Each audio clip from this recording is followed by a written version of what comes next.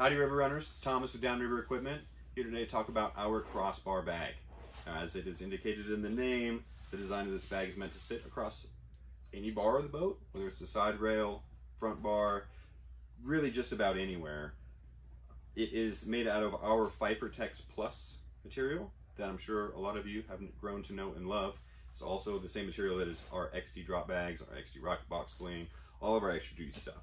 So we have here some added reinforcement in the bottom of the bag. You can see made out of boat material along with the number two grommets to add in draining because this is a tightly woven, very hardy material. So draining water out doesn't happen super fast. So we added these grommets in here so that you don't get standing water in the bottom of the bag. As this bag was designed for kind of heavier tools, such as a sand stake, dead blow hammer, other things like that that are going to be heavier and bulkier and certainly don't want poking out anyway anywhere, which is also a reason for the Phifertex extra heavy duty material.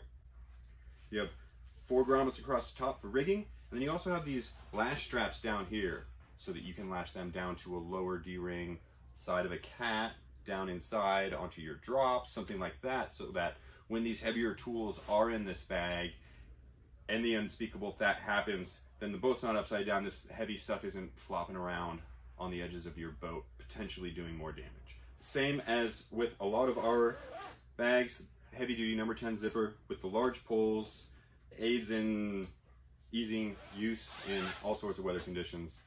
So it's very heavy duty bag. One of the other great designs is that it is designed to lay flat. So as you can see on the side, we have this kind of teardrop shape to the bag so that once it does have weight in it, that's left, that weight sits nice and flat.